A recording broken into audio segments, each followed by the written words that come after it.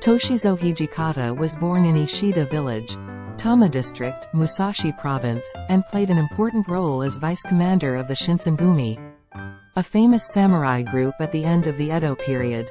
Hijikata was nicknamed the Demon Vice Commander because of his character, which exemplified discipline, resilience, and a strong sense of mission. On the other hand, it is said that he was also an elegant person, as he enjoyed writing Japanese poetry and haikai. In 1867, the Edo shogunate effectively came to an end. With the Grand Edict of the restoration of the monarchy. The following year, the Boshin War broke out.